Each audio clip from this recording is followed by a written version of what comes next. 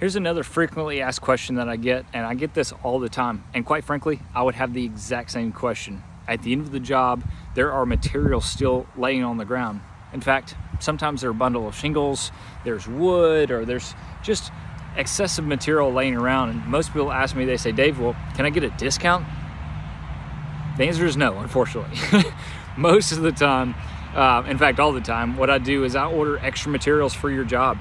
Uh, whenever we have uh, your measurements, I go above and beyond, even though it t- I take a little bit of a hit and take a little bit of a risk on the on the front end. Um, what we do is we re- return those materials to the manu or to our distributor after the job to get reimbursed for the little extra that I order. And I do that to avoid at the end of the job, at the end of the day, somebody calls me that says, "Hey, I need I need more materials, I need more shingles," and then we've got an issue. So, unfortunately, answer is no.